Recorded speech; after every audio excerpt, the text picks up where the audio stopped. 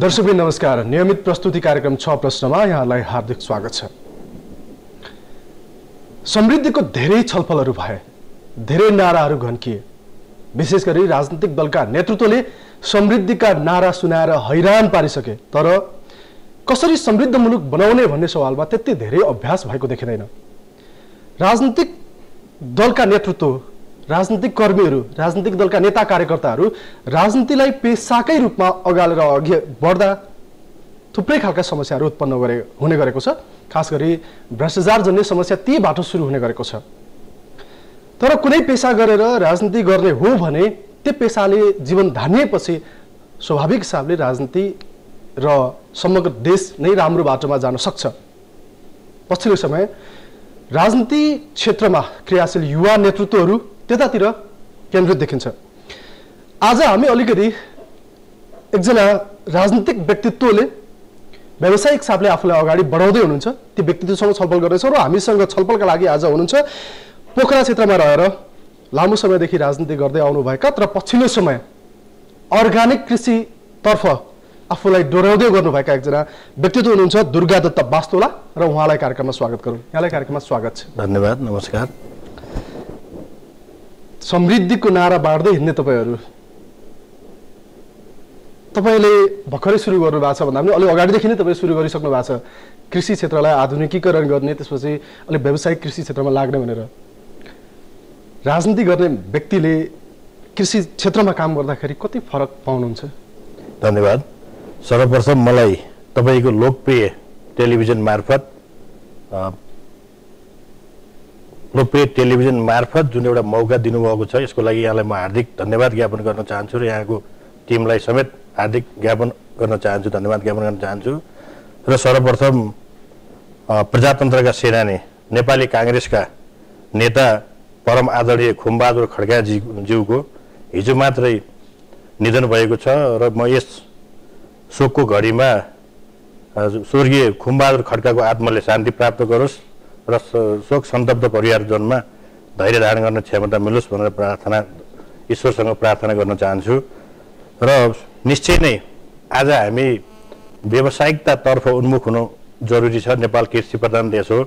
त्यसैले युवामाथिको अभिभारा बाँझो खेतबारी हराभरा भनेर हामीले जो विदेशका खाडी राष्ट्रहरूमा जुन दक्ष जनशक्ति र युवा युवतीहरू विदेशको खाडीमा जाने जुन परम्पराको सुरुवात भएको छ त्यसलाई रोक्नको लागि र व्यावसायिक कृषि कर्मबाटै नेपालमा आय आर्जनको अवसर सिर्जना गर्न सकिन्छ भन्ने उद्देश्यले हामी चार पाँचजना साथीभाइहरू मिलेर पोखरा लेखनाथ महानगरपालिका वडा नम्बर उन्नाइस पुरनचोर काउरेमा हिमालयन कृषि उत्पादन केन्द्र सञ्चालनमा गरि गरिआएका थियौँ र बिचमा प्राविधिक कुराहरूले गर्दा त्यो म म आफूले मतलब सञ्चालन गरिरहेको छु।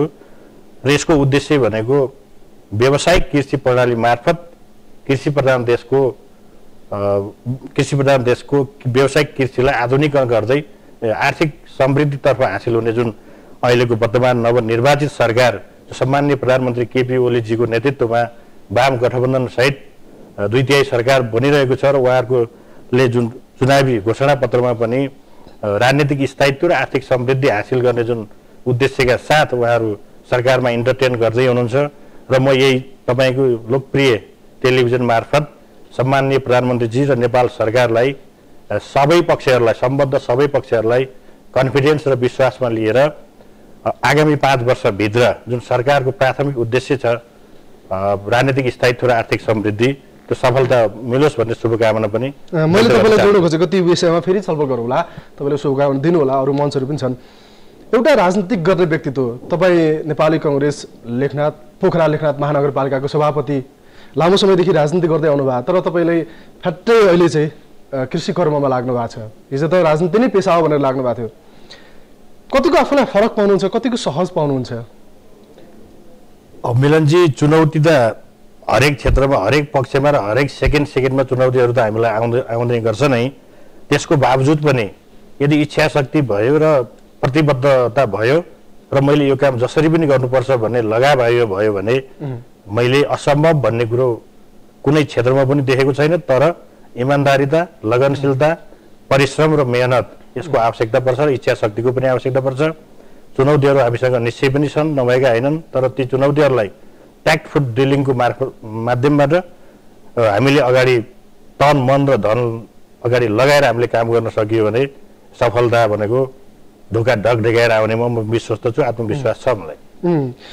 तपाईँको अलिक कृषि कर्मकै कुरा गरौँ। तपाईँहरू खास गरी अर्ग्यानिक भनेर लाग्नु भएको छ अर्ग्यानिक उत्पादनमा लाग्नु भएको छ। तपाईँहरू अहिले के के उत्पादन गर्दै हुनुहुन्छ? के के गर्दै हुनुहुन्छ सुनाउनु अलिकति। हामीले बहुउद्देश्य योजना अन्तर्गत बाख्रा पालन व्यावसायिक तवरले बाख्रा पालन रेशम खेती ए, तरकारी खेती र कुखुरा पालन जुन हामीले उद्देश्य लिएका थियौँ। र बिचमा अलिकति हाम्रो टिममा पनि प्राविधिक गडबडी भएको कारणले र एकैचोटि ठुलो क्षेत्रमा हात हाल्यो भने सफलता प्राप्त गर्न गाह्रो हुन्छ भन्ने निष्कर्षका साथ अहिले हामीले बाख्रा पालन र रेशम कोया उत्पादन गर्ने लक्ष्य साथ अगाडि बढिरहेका छौँ। तर हाम्रो रेशमको लागि जुन खाद्यान्नको रूपमा प्राप्त हुने किम्बु हो. किम्बुको बगैँचा तयार भइसकेको छ पन्ध्र बिस रोपनीमा अब हामी बिस्तारै घाँसको उपलब्धता हेरेर रेशम किरा पनि हामी राख्न गइरहेका छौँ र जसको लागि पूर्वाधार तयार भइरहेको छ र मर्म सामान्य मर्मत गर्नुपर्ने अवस्था छ।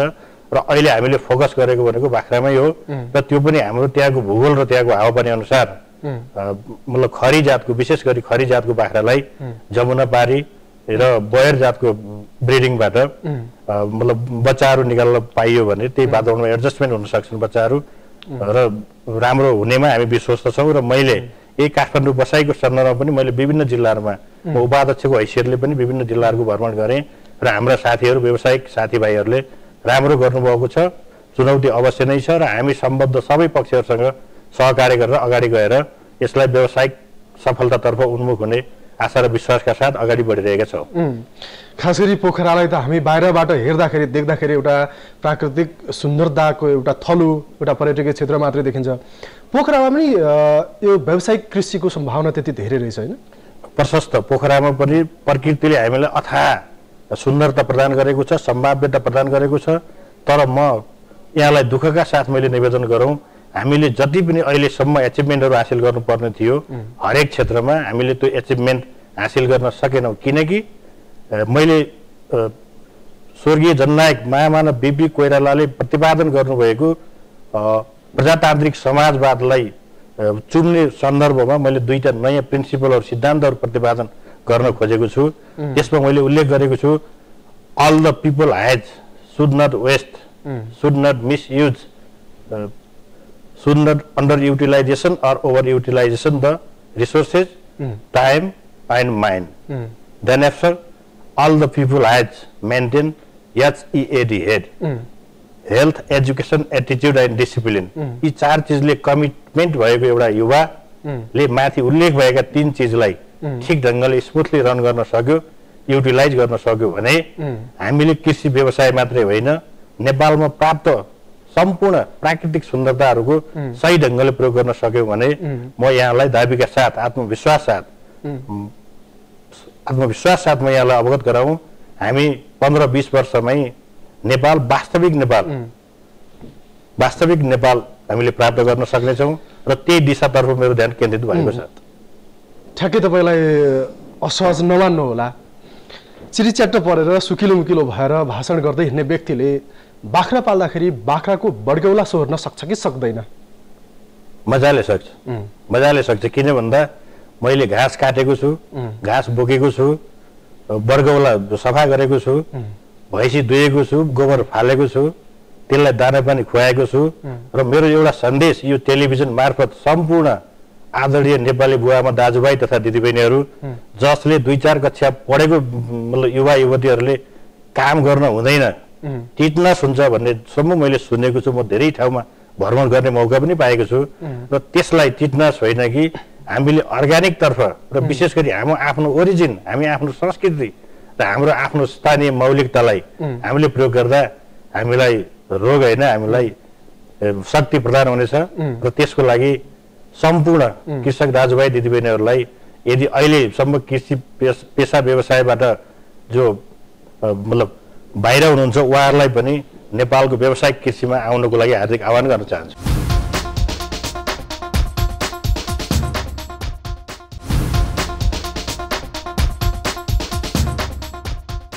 धेरै मानिस हामी युवाहरूमा हाम्रा देशका युवामा कामप्रतिको बुझाइ गलत छ।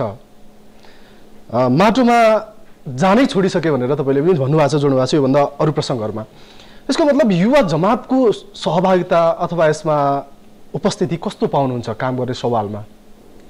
मैले अनौपचारिक कार्यक्रममा यहाँहरूसँग पनि साक्षात्कार गर्ने सन्दर्भमा भनिसकेको छु र हामी एउटा यस्तो मनोरोगबाट ग्रसित भएका छौँ कि हामीलाई चौबिसै घन्टा सफा सुग्घर हुनु परेको छ मिठो खाना खानु परेको छ राम्रो कपडा लाउनु परेको छ तर त्यो चिज कहाँबाट प्राप्त हुन्छ भन्दा उत्पादन हुने क्षेत्र। त्यो उत्पादन प्रोडक्सन सेक्टरलाई हामीले बिर्सेका छौँ र अब यसरी नै हामी अनुदारवादी हुँदै जाने हो भने यसले ठुलो भयावह समस्या निम्ताउनेवाला छ। त्यसकारण ढिला नगरिकन म आम बुवा मुवा दाजुभाइ तथा दिदीबहिनी नेपालीहरूलाई कृषि पेसामै फर्कौँ। कृषिमै सम्भावनाहरू धेरै छ। हामीले देखेका छौँ यहाँको पूर्वमा हामीले चिया देखेका छौँ अदुवा अलैँची देखेका छौँ। त्यस्तै हामीले भेडा च्याङ्राहरू देखेका छौँ हामीले नगदे बाली देखेका छौँ हामीले खाद्यान्न बाली देखेका छौँ हामीले तरकारी देखेका छौँ तर यसमा राज्य पक्ष बिचको बिचौलिया पक्ष र स्वयं किसानहरू पनि जति होसियार हुनुपर्ने हो जति चलाक हुनुपर्ने हो हामी हुन नसकेको कारण र हामीले हाम्रो उत्तरदायित्व र हाम्रो जिम्मेवारी हाम्रो कर्तव्य सम्झन नसकेको कारणले नै विभिन्न समस्याहरू देखा पर्दै आएका छन् र हामी यी समस्याहरूबाट भागेर यी सम- समस्याहरूसँग जुझ्न नसकेर हामी बाहिर जाँदैनौँ हामी डटेर कृषि व्यवसाय गर्छौँ र त्यसबाट सफलता प्राप्त गर्न सक्छौँ। तपाईँहरू यो आफै समस्या देख्दै हुनुहुन्छ। यो समस्याको बिचबाट तपाईँको फर्ममा तपाईँको काममा तपाईँहरूलाई सहयोग गर्ने युवा जमात कति भेट्नु भएको छ? अवश्य छ प्रशस्त छ युवा शक्ति तर हामीले व्यावसायिकता सम्बद्ध सबै पक्षबाट इमान्दारीपूर्वक व्यावसायिकतातर्फ उन्मुख गराउन विभिन्न अब्स्ट्याकल्सहरू देखिएको कारणले मात्रै र उहाँहरूलाई आकर्षित गर्न नसकेको कारणले मात्रै अलिकति नैराश्यता जस्तो देखिएको हो। तर अब हामी महासङ्घको उपाध्यक्षको हैसियतले पनि र यहाँहरूसँग सहकार्य गर्दै सतहत्तरै जिल्ला भ्रमण गर्ने अभियान पनि हामीले सञ्चालन गरेका छौँ। त्यो यो त्यो अभियान मार्फत पनि हामी व्यावसायिक कृषिलाई आधुनिकतातर्फ उन्मुख गराउँदै र युवा युवतीहरूलाई यस यो पेसातर्फ आकर्षित गराउँदै जाने विषयमा म यहाँलाई विश्वस्त गराउन चाहन्छु। तपाईँले भन्नुभयो घुम्ने जाने डुल्ने त्यसपछि युवालाई यो छ है भनेर भन्ने एउटा कुरा होला। तर युवाले नेपालको कृषि पेसामा भविष्य नदेख्नुको कारण चाहिँ के छ? यसमा मुख्यतया सम्बद्ध सरकारी पक्षको पनि ढिलासुस्ती र हामी रिजल्ट ओरिएन्टेड होइन हामी पेपर ओरिएन्टेड हिसाबले लागिरहेका छौँ। म यहाँलाई इन्ट्रेस्टिङ कुरा मैले बताउँ म आफै सभापति भएको उन्नाइस नम्बर वडाको। म आजभन्दा म सभापति भइसकेपछि मैले पाँचवटा कामहरू सामाजिक कामहरू गर्छु भनेर मैले प्रतिबद्धता जाहेर गरेको थिएँ जस अन्तर्गत यातायात खानेपानी तथा सरसफाइ बौद्ध धार्मिक धर्मावलम्बीहरूको गुम्बा बर्थिङ सेन्टर प्रसुति गृह र कृषि क्याम्पस प्राविधिक प्राविधिक क्याम्पसको रूपमा हामीले प्राकृतिक स्रोत व्यवस्थापन कलेज जो हामीले पुरुन्जोरमा आङ्गिक क्याम्पसको रूपमा लान सफल भएका छौँ र कन्स्ट्रक्सनको कार्य र दरबन्दी सिर्जनाको कार्य यी पाँचवटा विषयलाई लिएर पनि म काठमाडौँ आएको हुँ। विशेष गरी आज सतहत्तरौँ जिल्लामा म काठमाडौँमा तपाईँसँग साक्षात्कार गरिरहेको छु। र हामी कति निरीह छौँ हामी कति लाचार छौँ हामी कति अनुत्तरदायी छौँ भन्ने कुरो यो पनि ज्वलन्त उदाहरण हो। र मैले सम्बद्ध सबै पक्षहरूलाई चाहे म मेरो पार्टीको सभापतिज्यू पूर्व प्रधानमन्त्री शेरबहादुर देवाको कुरा गरौँ चाहे प्रधानमन्त्री आदरणीय सम्मान्य केपी ओलीजीको कुरा गरौँ र हेड अफ द इन्स्टिट्युसनहरू सबैलाई भेटेर हामी यसरी मतलब प्रशासन यन्त्रमा ढिलासुस्ती गर्ने क्षमतामा कमजोर हुने हो भने हामीले यो देशको भाग्य र भविष्यको कल्पना गर्न। भन्नु खोज्नु भएको कृषि क्षेत्रलाई अझै व्यवसायीकरण गर्ने र अझै समृद्धतर्फ जाने सवालमा नीति निर्माण तहमै समस्या छ भन्नु खोज्नु हो या अरू? हो नीति निर्माण तहमा पनि हाम्रो समस्याहरू छ र स्वयं हामी कृषकहरूमा पनि समस्या छ र हामी मैले यो यो बसाइ सतहत्तर दिनको काठमाडौँ बसाइ र यहाँबाट मैले एउटा निष्कर्ष के निकालेको छु भने दृढ इच्छा शक्ति दृढ इच्छा शक्ति हामीलाई खाँचो छ। हामीलाई विवेकको खाँचो छ। हामीलाई स्वाभिमानको खाँचो छ। हामीलाई इमान्दारिताको खाँचो छ र हामीलाई परिश्रमको खाँचो छ। यी कुराहरू हाम्रा सम्बद्ध सबै पक्षहरूलाई हामीले यी कुराहरू राख्दै आएका छौँ र उहाँहरू पनि केही न केही गम्भीर भएको मैले महसुस गरेको छु। त्यसकारण अब हामी आशावादी छौँ। हाम्रा प्रशासन यन्त्र हाम्रा नीति निर्माताहरू हाम्रा योजनाकारहरू त्यतातर्फ गम्भीर ढङ्गले लाग्नुहुनेछ र यसको उद्देश्य अनुसार सफलता प्राप्त गर्ने क्षेत्रमा तपाईँ एउटा। कृषि कर्ममा लाग्नु भएको छ एउटा राजनीति गरिरहेको व्यक्ति। पक्कै केही सम्भावना देख्नुहुन्छ र लाग्नु भएको छ। तपाईँको बुझाइमा लाखौँ नेपाली युवा विदेशमा छन्। ती युवालाई स्वदेश फर्काएर कृषि पेसामै आबद्ध गराउने अथवा त्यही सम्भावना देखाउने र यहाँ रहेका युवालाई पनि विदेशभन्दा यही सम्भावना छ भनेर देखाउन सक्ने आधार कृषि क्षेत्रमा के देख्नु भएको छ अहिलेसम्म हामीले त्यसको लागि जुन मास्टर प्लान मास्टर प्लान गुरु योजना बनाउने तपाईँको सन्दर्भमा नै- फर्मको त छँदैछ समग्रमा। आम युवालाई नेपालमै कृषि क्षेत्रमै अझै रहेर काम गर्न सकिन्छ भनेर कसरी युवालाई यहीँ रोक्न सकिन्छ भन्नु खोजेँ मैले। हामीले सम कृषि क्षेत्र हेर्ने कृषि कृषि मन्त्रालय कृषि विकास मन्त्रालय पशु विकास मन्त्रालय हामीसँग मतलब विद्यमान अब स रहनु भएको अवस्था छ।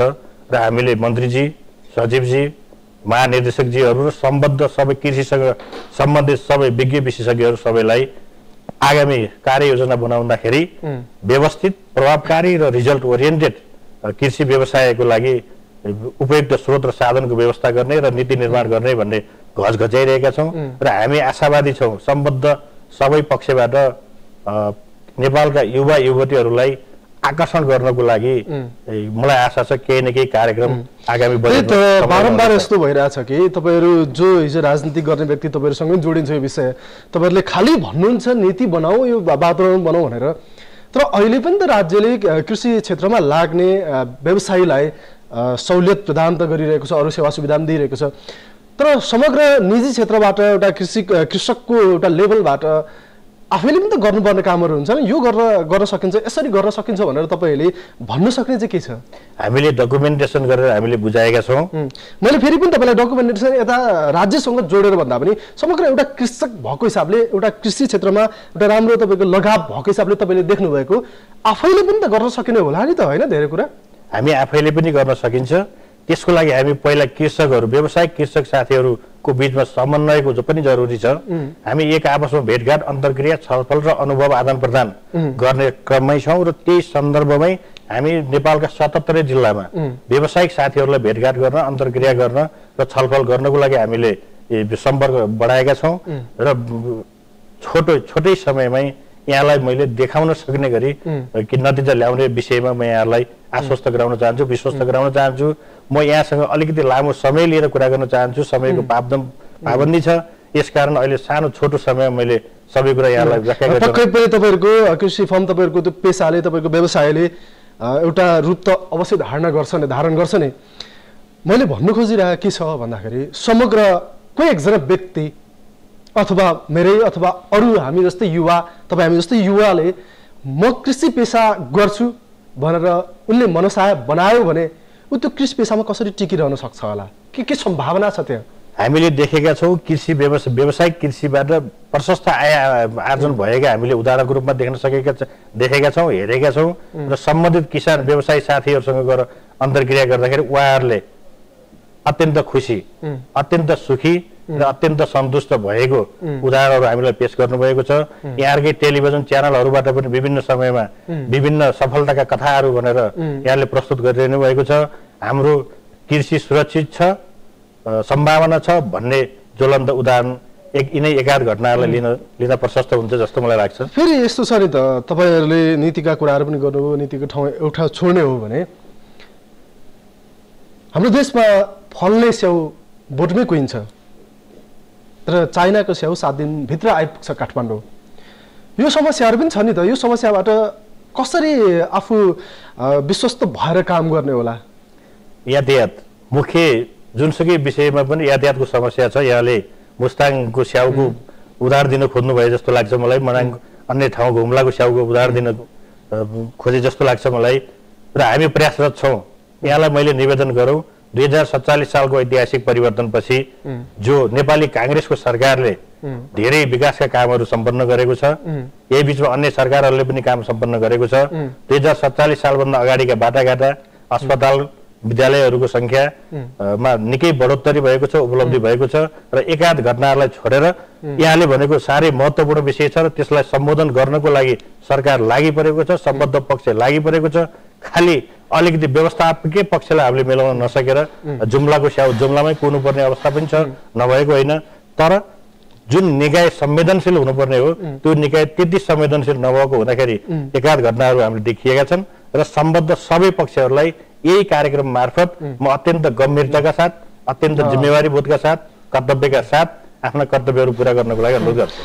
मैले जोड्न खोजेको यो विषय पनि बजारीकरणको समस्या छ नि। बजारी- समस्या छ भनिन्छ। तपाईँले उत्पादन गर्नुभएको सीमित वस्तु त बिक्ला। तर अहिले युवाले उत्पादन गरेको जो उत्पादन हुन्छ त्यो उत्पादन फेरि कुहिनुपर्ने स्थिति बजारीकरणको समस्याले भयो भने त समस्या होला। नि त के सम्भावना देख्नुहुन्छ? बजारीकरणको व्यवस्थापन कसरी होला भनेर कसरी गर्न सकिन्छ भन्ने लाग्छ तपाईँहरूलाई? अवश्य। हामीले काश्मीरको स्याउ उपयोग गरिरहेका छौँ। हामीले चाइनाको स्याउ उपयोग गरिरहेका छौँ। तर हाम्रा सीमित समस्याहरूको कारणले गर्दा र समन्वयको अभावले गर्दाखेरि जुम्लाको डोल्पाको स्याउ कुने अवस्था भएको छ। यसलाई हामी कडाइका साथ अनुगमन क्षेत्रमा कडाइका साथ लाग्नेछौँ र सम्बद्ध पक्षलाई घच घच्याएर आगामी दिनहरूमा यस्तो अप्रिय परिस्थिति सिर्जना नहोस् भन्नेतर्फ सचेत हुन म यही च्यानल मार्फत अनुरोध गर्न चाहन्छु। हामी अन्त्यतिर छौँ। तपाईँ राजनीतिक एउटा नेतृत्व पनि भएको हिसाबले तपाईँसँग राजनीतिक विषयवस्तु टच नगराउँदा नछुवाउँदाखेरि अलि अपूर्ण हुन्छ कि?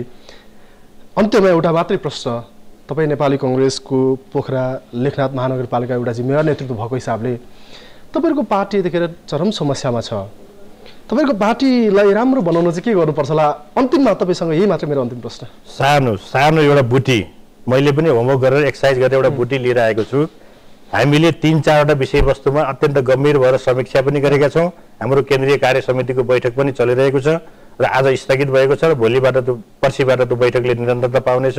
र अब नेपाली काङ्ग्रेसमा भएको समस्या के हो भन्ने समस्या हामीले पहिचान गरिसकेका छन् म यहाँलाई यहाँको लोकप्रिय टेलिभिजन मार्फत आगामी छोटो समयमा काङ्ग्रेसले लाई ठिक काङ्ग्रेस नेपाली काङ्ग्रेस नेपाली जनताको काङ्ग्रेस बनाउने बुटी हामीले नेताहरूलाई हामीले सठिकमा त एकदम अवगत गराएका छौँ र त्यही अनुसारै हाम्रो पहिलो पुस्ता दोस्रो पुस्ता र तेस्रो पुस्ताको बिचमा अत्यन्त प्रभावकारी र कुटिल ट्याकफुट डिलिङबाट काङ्ग्रेसलाई ठिक काङ्ग्रेस बनाउँदै आगामी पाँच वर्षभित्र यो देशको शासन सत्तामा रहने हैसियत प्राप्त गर्ने विषयमा म यहाँलाई अनुरोध गर्न चाहन्छु र त्यसको लागि हामीले सबै छलफल बहस र अन्तर्क्रिया प्रारम्भ गरिरहेका छौँ र खालि अब यो कार्यान्वयन पक्षतर्फ जानेमा विश्वस्त रहेर म अनुरोध गर्दछु। हुन्छ। तपाईँले समय दिनुभयो धेरै धेरै धन्यवाद। धन्यवाद धन्यवाद। यहाँहरूले मलाई जुन मौका दिनुभयो यसको लागि म आभार व्यक्त गर्न चाहन्छु र सम्पूर्ण नेपाली दाजुभाइ तथा दिदीबहिनीहरूलाई यो अत्यन्त अवसर र चुनौतीको समयमा अत्यन्त चलाखीपूर्ण तपाईँ तपाईँहरूले वाच डगको रूपमा सहयोग र सुझावहरूको अपेक्षा गर्दै मेरो आफ्नो भनाइ अन्त गर्छु। धन्यवाद नमस्कार जय नेपाल धन्यवाद। दर्शकबिन आज हामीले राजनीतिक एउटा नेतृत्व अथवा त्यसपछि कृषि कर्ममा लाग्नुभएका पोखरा क्षेत्रका एकजना नेपाली कङ्ग्रेसका नेता दुर्गा दत्त बास्तोलासँग कुराकानी गऱ्यौँ। कार्यक्रम छ प्रश्न अहिलेलाई यति नै। बिदा दिनुहोस्। नमस्ते।